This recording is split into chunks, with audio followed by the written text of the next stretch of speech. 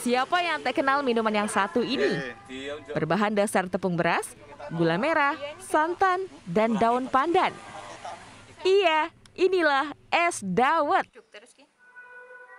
Es dawet merupakan minuman tradisional yang telah melegenda di Indonesia, khususnya di sebagian besar wilayah Jawa.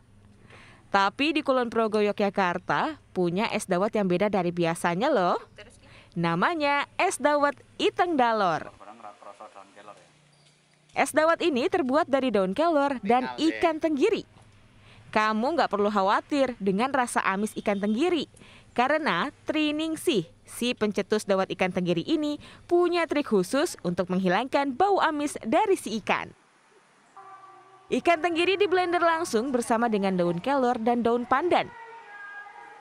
Nah, untuk menciptakan warna hijau alami, Triningsih juga menambahkan daun suji. Setelah itu, adonan dawet dimasak hingga mendidih dan langsung dicetak menggunakan cetakan khusus dawet. Untuk pemanis, kamu tinggal rebus air dengan gula merah dan dawet iteng dalor pun siap untuk disantap.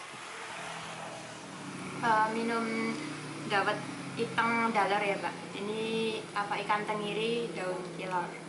Rasanya seperti apa?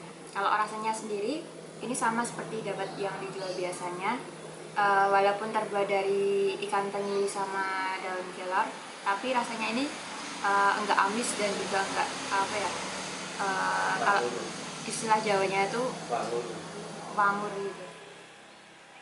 Triningsi membuat es dawet dari daun kelor dan ikan tenggiri ini bermula dari kompetisi masak yang dia ikuti.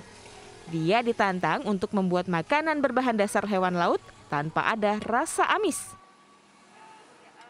Tapi ternyata idenya membuat dawet berbahan dasar ikan sukses menarik perhatian masyarakat.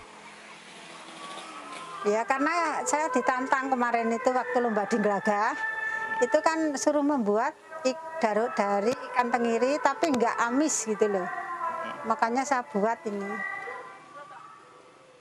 Selain enak dan segar, dawet berbahan dasar daun kelor ini juga memiliki khasiat bagi kesehatan loh, yang baik untuk jantung, asam urat, kolesterol, hingga manfaat kecantikan. Untuk harga, satu gelas es dawet itang dalor ini hanya dipatok seharga Rp2.500 saja. Murah kan? Dari Kulon Progo, Yogyakarta, Ahmadi, RTV.